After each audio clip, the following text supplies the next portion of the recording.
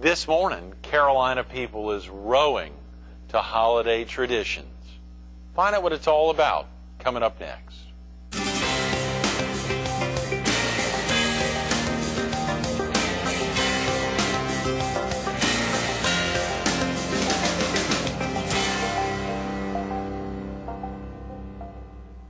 Good morning. Welcome to Carolina People. This morning we're at the Conference Center on the Grand Strand campus of Horry Georgetown Technical College. We're focused on creating a special holiday, and we're visiting with the professor of the Hospitality and Tourism Management Program here at Horry Georgetown Tech. I hope I got that right. Jay Rowe. That's right. Good morning, Jay. Good morning, Greg. Thanks so much for coming in this morning, a couple days away from Thanksgiving. I hope you got some big Thanksgiving plans. Sure do.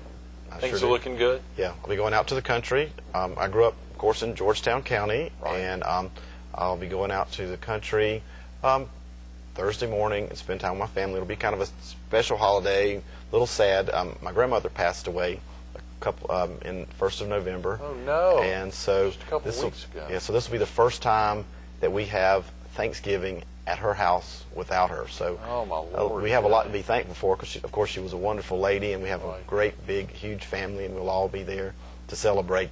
But there'll be a little sadness, but we're excited to get Oh, to be yeah. there and Wow. celebrate with my family. This is your mother's mother or My your father's, father's mother? mother. Your father's mother. Yeah, she was 93 years old. 93. Golly, Jay. Are your parents still living? Oh yeah, they live right next door. They, I grew up had the, I was very fortunate in growing up right next door to my grandmother's house. So. You know, I grew up next door to my grandmother. She was in an apartment building, but she lived in the apartment building next door. But our my bedroom was actually right next door to her bedroom. We just knocked through the wall. It's uh, that's amazing, Jay. So you grew up close to your grandmother? Oh, sure did. Yeah. You're not an only child, are you? Oh no, I have two younger sisters. Two younger sisters. So you're the oldest. The oldest. Wow. Yeah. Of course, if you were an only child, you could have been the Right. oldest. That's great. Are your sisters still around here? Oh, sure. Um, one sister lives in um, Pleasant Hill area, and my other sister lives in Williamsburg County. And so, of course, they I see them regularly, and um, it'll be a great time to spend with them and my larger family. So one in Horry, one in Georgetown, and one in In Williamsburg. County. That's interesting. We've got the Tri-County area the Trinity covered. there, absolutely. yeah, that's fascinating. And your and your folks have remained there and Right. love that area. Oh, of course. Have they ever thought about retiring to the Myrtle Beach area or moving Um, over no, my dad works over here in the Myrtle Beach, so he drives every day um, from either here or to, to here or to Georgetown. But they love it in the country, of course. That's great. That's great, Jay. And, and y'all are pl- planning, I know that will be melancholy, but obviously Right. planning a, a special holiday Right. there, uh, probably to honor your grandmother Right. to a great degree. When did you first get into uh, deciding that you wanted to get into education and make a difference uh, for students? Um, I've always wanted, you know, had an idea that I wanted to be a teacher. Um, my middle sister, Gay, sh I'm not quite as disciplined as she is. She decided in kindergarten that she would be a teacher, and Right. she's been teaching basically she ever what she since. thought, did yeah. what she thought. Um, I kind of went around it in a little different way. I taught high school for a while, and Really? then for five years, five years ago, I had the opportunity to come back to um, Georgetown or Horry and Georgetown counties and teach here at Horry Georgetown Tech, Right. and it has been a great experience. Wow. What about it is so special, Jay? Um, just when you can see that um, you're changing people's lives, you're there to help people. We, of course, being a community technical college, um, our students range in ages from 17 all, um, up to 65, Right, really. right. And you know, people are coming to us for different reasons. I have students who are coming because they um, maybe went to college when they were younger Right. and didn't do so well, Right. got out, you know, made um, had their family, and now they're back. Right. I have students who are coming right out of um, high school, and they're very disciplined, and they know exactly what they want. They want to work in the hotel business. They want to work in the restaurant business. They love Myrtle Beach. They Mm-hmm. Right. want to work here. Um, so it's really exciting to see some of the students that we have and the range of ages and what their interests are. There's probably a lot of viewers who'd like to get back into the classroom and finish up that education that they never finished or never even started. Is it comfortable? I'm sure they want to know is it comfortable for the students who are 45 or 55 in a classroom with students who are 17, who are oftentimes younger than their own children? Right. It certainly is. I mean, we try to make it comfortable for everybody. Um, I have a returning student today that was noticing that she had was checking on all the other four students. So sometimes those mothering aspects or fathering aspects come out in the classroom That's a where great they're point. taking care Yeah. of the younger students and making sure that they have what they need or they know what the homework assignment is. Right, right. And so it works great. And um, we try to make everyone feel comfortable. And it is a challenge when you return to school, but um, we encourage it. It's very easy Right. to get in. We um, come out, go through the admissions process. Our admissions counselors are very good at working with you and what you want. They Great. test the students, and then if we have um, classes that you know, if you need to brush up, refresher classes Right. that you can take before you go into your regular classes, and it's really a good opportunity, and it's very reasonably priced.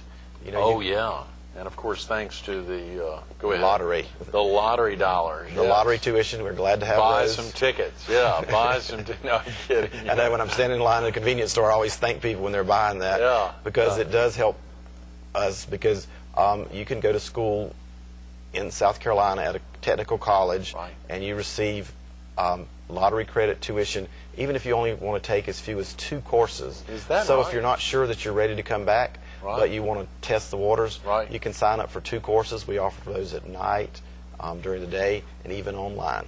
That is tremendous, and of course you're teaching almost exclusively here on the Grand Strand Right. campus. Mhm.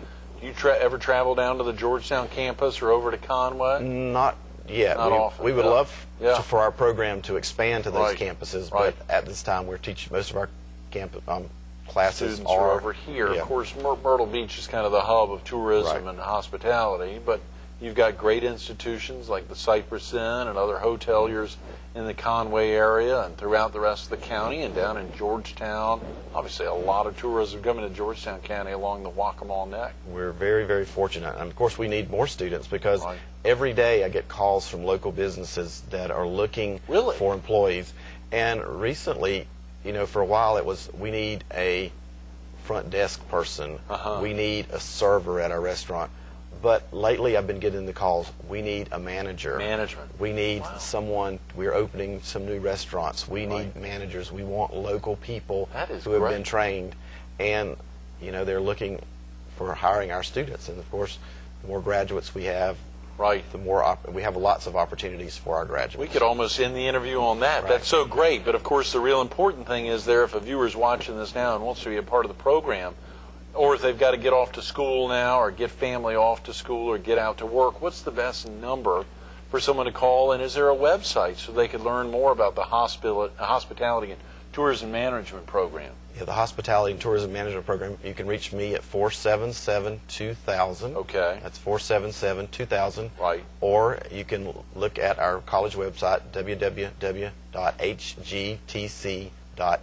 We like that hgtc.edu. That that great beautiful uh, sign as you're coming here right in front of the conference center and right there at the uh, at the foundation boardroom Right. and otherwise over the, the building here at the end of the driveway. Uh, HGTC is right there in front of your face.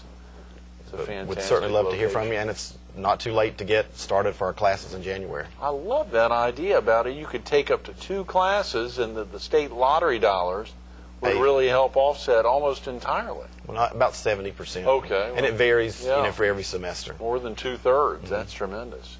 A lot happening with the holidays coming up, and again, I know you highlighted that melancholy aspect for you. A lot of families oftentimes have a holiday and it's melancholy for them because Right. they're remembering loved ones. So it's uh, what are some of the things, and we don't want to talk about that. That's probably not something Yeah. you're teaching in the Right. classroom. But what are some things that viewers could be doing to prepare not only for Thanksgiving this Thursday, but let's say for Christmas or for Hanukkah? I mean, uh, the the Jewish season? Jewish. Um, well, of course, you know, develop some family traditions. You know, we don't all live close to our families, but we can Right. develop family traditions. uh, You know, with technology and email, you know, putting together email lists or creating fun, um, creating contacts with our relatives prior to Christmas Right. works out great. Of course, sending those pictures of the holidays or after the holidays Oh, work yeah. great. Um, and again, create special memories for your family. But also, we need to remember those maybe who don't have family here, and you know, invite people to, if you have a large family, invite some other people to Oh, be yeah. a part of your family's holiday. Right. And it, it's good for you and it's good for them, and it really makes them feel wanted. It helps our community because Right. it's, we see how concerned our community is about others Right. and including them in the holidays and making sure that everybody does have a good holiday. Folks, you can do that right now. Just pick up the phone, call somebody you know who may not know somebody here in the area and needs a place to be with on Thanksgiving. There's also some of the tremendous dinners and lunches that uh, the American Red Cross does in tandem with Blaine Methodist Church and First Presbyterian Church and another church over in Right. Conway. They're really going all out to support the community. You know, these dinners you can volunteer to help. I mean, Right. nothing can make you feel any better than giving back to someone who doesn't have as much as you do. right. And um, and sometimes we, of course, we hear we get more out of giving than the Oh, person yeah. we give to. Oh yeah, that was highlighted last Thursday here. We were here, and there was a big group here at the uh, Association of Fundraising Professionals had a luncheon for National Philanthropy Day here at Horry Georgetown Tech on the campus. Even Tom Mazer, columnist with the Herald, and of course the uh, chairman of the foundation uh, board for Horry Georgetown Technical College, was recognized as one of the local. Philanthropist of the Year nominees, which was great, an individual, and a lot of other folks associated with the college here doing great things in the area, Jay. It must be thrilling for you Right. to see these folks uh, and the efforts they go to. It is, and our student, various student organizations do things throughout the year to help people in the community. And that's one thing, you know, as we focus on the holidays, we need to continue those activities all year. You know, Right. the needs that we have at the holidays also extend throughout the whole year. So as we point. look to January and our resolutions, think about helping people all year, not just at the time of the holidays. Those are great things. Of course, for folks that have seen your etiquette column in Coastal Business Life for the longest time, I think since they kicked off the magazine, you've had a column in there. And of course, you were with us in January when we were at the Honorable Bob Grabowski's Myrtle Beach lighting over there on the bypass and saw that the, the beautiful store there, but also was able to hear you talk about some of the great things happening. The column is still a centerpiece for Right. you. If someone hadn't seen it recently, what are some of the etiquette tips we need to be thinking about over the holidays? Um, gift giving. You know, I think it was last year we wrote about. Think if you if you are giving gifts, um, think about the gifts that it suits the person. You know, Right. what about alcohol? Oh yeah, Do you give alcohol? Well, only to someone who you know would appreciate it. Mm-hmm. And you know, is that an appropriate gift? Well, to certain people it is. Right. To others, it's not.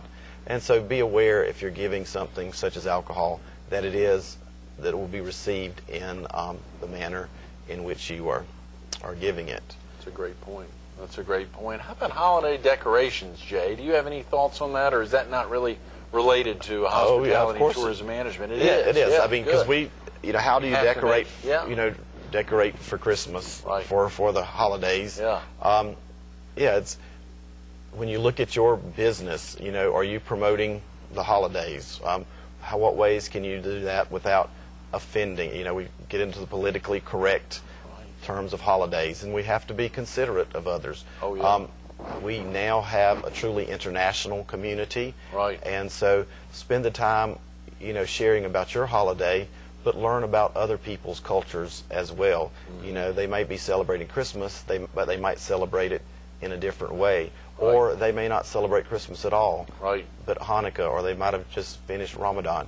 And so look at what they are doing and the traditions that they have established.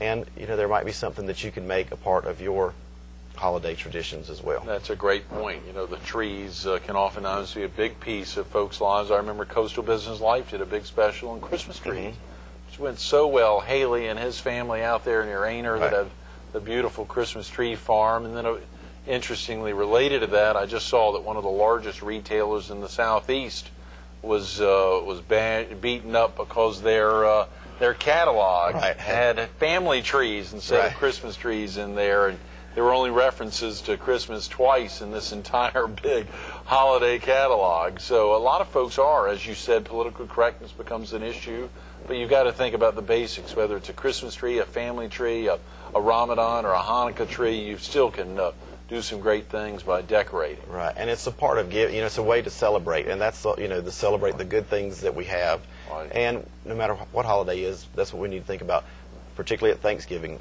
all the blessings that we have received, and um, so as we prepare for Thanksgiving, we really truly do need to give thanks.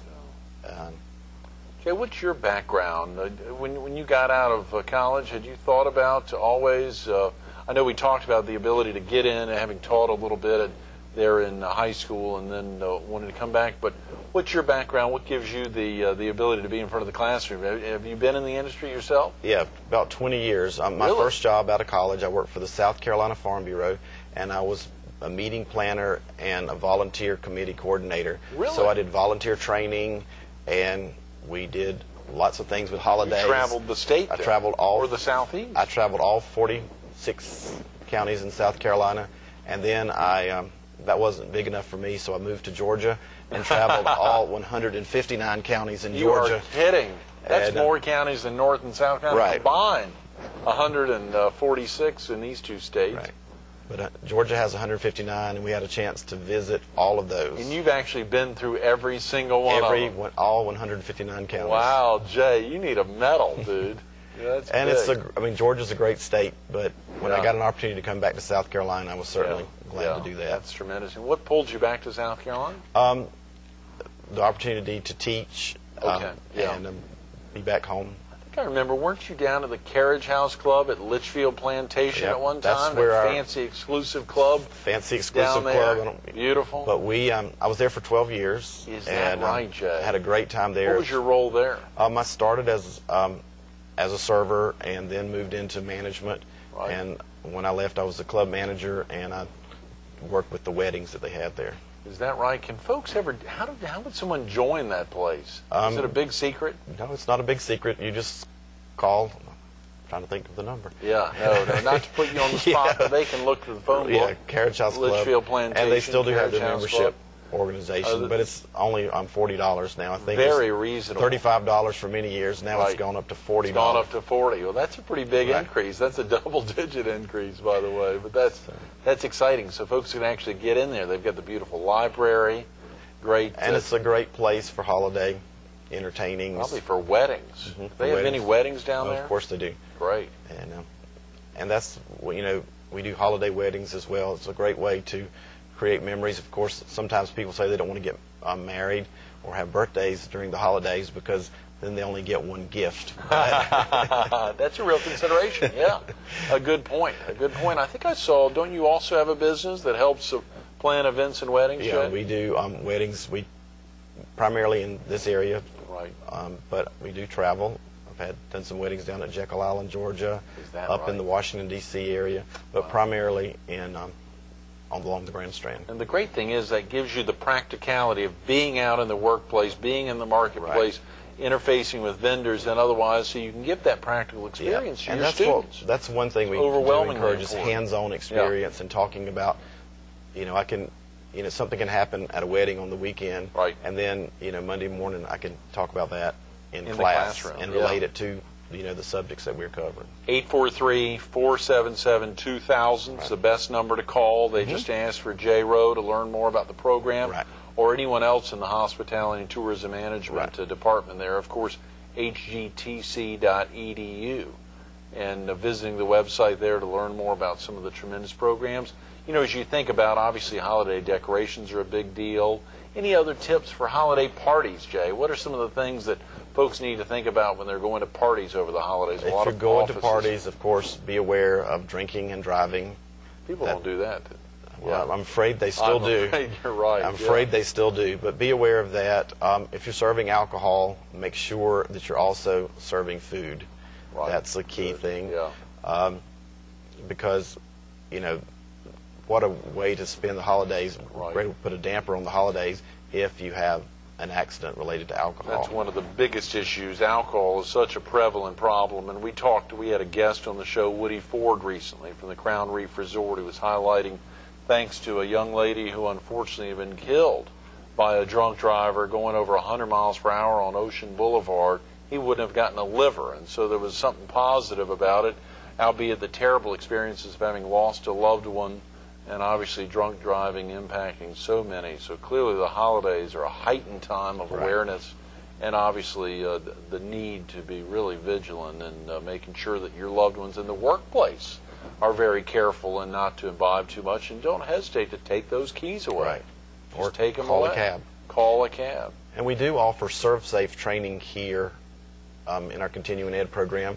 If there are individuals or businesses who would like their employees trained, we do offer that service here. It provides an alcohol awareness training to teach um, employees how to properly serve and serve safe. That's a great point. And um, That's right. that's one of the things that all of our students, when they go through the hospitality program, they do earn the serve, um, ServSafe alcohol certificate. That's a great point, Jay. Yeah.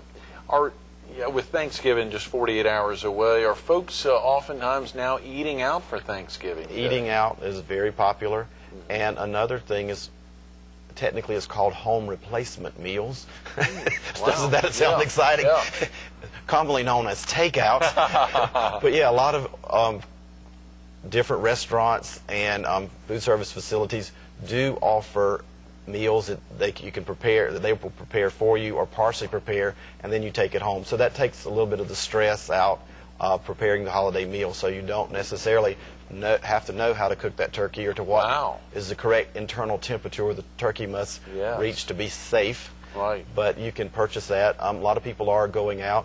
I do want to encourage you if you are going out for a holiday meal, remember the people that are there serving you because they are away from their family or their friends and they are providing a service to you so that you can be there with your family or your friends.